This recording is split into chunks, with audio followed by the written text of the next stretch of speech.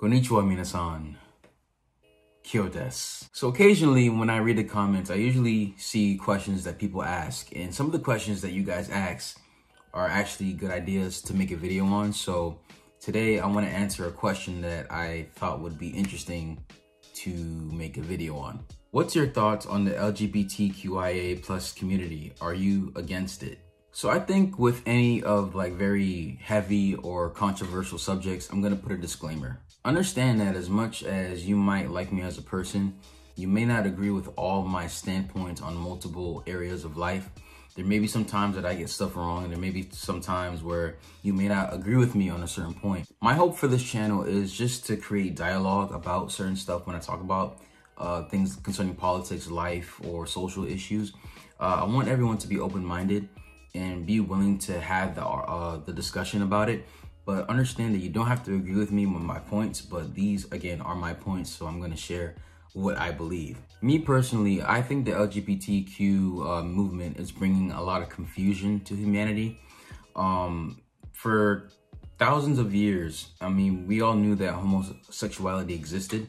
It's nothing new to the human race. It's existed before, and many cultures have practiced it and celebrated it um, and it's been here since the beginning of time. However, this movement that has been really birthed in America and has gained pretty much a worldwide uh, following, I believe has done a lot of social damage to uh, our country in America and the world at large, but it's doing a lot of damage in America. Basically, at first, a lot of people in the LGBTQ community were basically advocating for equal rights as far as marriage is concerned, that we want to marry two men or two men can marry and two women can marry and that it's seen as an equal relationship as a married man and a married woman together. However, even on a natural standpoint, I don't think this is good because two men and two women can't reproduce unless you use some kind of outside method to bring in children, whether it's adoption or you know, uh, taking egg or sperm from a donor or whatever and making a baby through that method. And if you're looking at it from even an evolutionary standpoint, if a species of animal was to be homosexual, there's no way that that species can reproduce and, and have children because a lot of what secular evolutionists uh, kind of teaches is that it's survival of the fittest and it's to survive, eat, fight, and, you know, mate to have your offspring uh, continue your line or your lineage. And even me, I am a Christian, so even my personal beliefs, I do not agree with the lifestyle. However, that doesn't mean that I hate people who are part of this community. I've had multiple gay friends in high school. Uh, one of my best friends um, was a bisexual. I had another friend who was bisexual and who became a Christian after. Um, I was in drama club in high school, and there tends to be a lot of gay people in drama. Uh, one of my uncles is a homosexual. And uh, to me, it doesn't matter what you believe in, what color your skin is, or what you know, what race you, you belong to. Uh, I treat you as a human being. I'm not denying your humanity. You know, the same way I can talk to a person who lives in a different country, the same way I can talk to a person who lives uh, a gay lifestyle. You know, like to me, I'm not like bothered by or like I I won't have a conversation. I'll still be your friend. Like to me, like it doesn't matter if you're atheist, you believe in God, whatever. Like I'm cool with everybody. However, that doesn't that doesn't necessarily mean that I have to agree with everything you practice or you believe in. Um, one of my best friends, he's agnostic. He doesn't believe in God. I have had atheist friends who don't believe in God, but yet, you know, we can still have a friendship together. But I don't agree with their view on life. You know, my view on life is different. So when I say I disagree with the gay lifestyle, it doesn't mean I hate gay people. Like if I talk to a gay person on the street, I mean, it wouldn't be no biggie for me. I mean, you're still a human being. You know, I'm not going to treat you any different than anyone else. However, like I've stated before on this channel, I do believe that um, female and male marriage uh, union is what keeps a society going. It's the foundation of a society if you don't have strong families in any society, that that uh, society is going to collapse. And already we're seeing in America and also in Japan the result of not having uh, two um, parents, mom and dad, having a, a, successful marriage and birthing kids and raising the kids right. Right now, marriage is on the decline, and that has caused a lot of problems. So when you attack or when you try to change the traditional institution of marriage, I think it causes a lot of confusion and brings a lot of unnecessary problems to society. And ever since the law got passed in 2015 in America for uh, federally that, you know, uh, same-sex couples can get married, it's kind of opened a box of worms because now we're also dealing with transgenderism where now we we we are preaching in America that uh, men can be women and women can be men. And even if you're biologically a male if mentally you're a female you're considered a female even now we're saying in you know this political correct space that a biological male can give birth.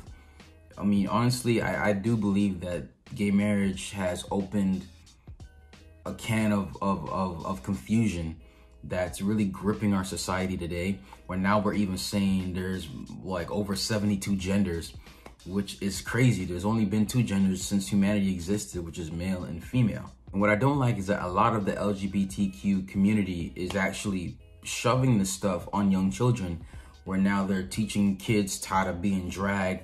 Now we have plenty of cases in america where we have parents trying to change the sex of their child. And you know, children often say they're this or that. You know, when I was a kid, I wanted to be a dolphin. Or if I was a kid, you know, I want to be a, a, a tiger or woman. You know, kids say the stupidest things, and parents actually take that as an, oh, my child is transgender. So let me put my young boy in surgery and, uh, you know, cut off his, you know, private part. And now he's a woman. Like, you know, I, I think that kids who haven't even gone through puberty are being exposed to very adult ideas and it's messing up our society because if if kids are being introduced to something adult at such a young age it can really hinder or affect their their growing brains. And it's getting even worse where they're saying there's really no difference between a male and a female. Physically a male and a female is no different which we know is not true. Physically males are more powerful they're stronger they're faster and they're able to endure a lot more physical hardship. Women are built differently. They have ovaries, they can get pregnant, they have cycles, they have sexual organs in their breasts. Like we are naturally made different. However, I do believe we fall in a rabbit hole where now we're teaching a lot of delusion and unscientific things about sex in male and females. And I believe that it started with the whole gay marriage. And the thing is, is like, you give someone an inch and they take a mile, meaning that you give someone a little leeway and now they're, they, they've ran, you know, um, far distances with it. And it's, it's causing a lot of confusion. I think this is the most uh, in Western society that we've been so confused about relationships. And, you know, and I've heard stories, even kids wondering like, am I a man? Am I a woman? I'm confused. You know, my schools are teaching me that we can choose our gender. Even some cases where some parents won't even have the child's gender on their birth certificate because they're saying the child can choose the gender, which to me is extremely ridiculous. And have gay and lesbian people been hated on and uh, beaten in, in the past and bullied? Of course, it's happened. Um, I do believe that a lot of people haven't tackled the, the, the, the area of homosexuality in a mature way you know, um, I think that it is true that a lot of uh, people in this community have been discriminated against or abandoned or, you know, just mistreated. And I, again, I believe that no matter what race, creed, religious belief, lifestyle you live, you should be treated like a decent human being. That shouldn't change whatsoever. And I'm pretty sure some of my viewers, you guys have gay friends and lesbian friends that you're cool with. Um, and I still do to this day as well. But bottom line is, is that I don't agree with the lifestyle. I, I don't think it's beneficial for humanity. Um, some people say I'm born this way and I can't change it. Um, I, I, I do believe it's a choice. I do believe people can change. You know, I've seen it happen before. I had a friend of mine who used to be gay and he's completely straight now. I had another friend who was bisexual and she became a Christian and now she's completely straight. She's married uh, with a kid now. So you know, I don't believe it's it's it's permanent. But I do understand that a lot of people have been mistreated.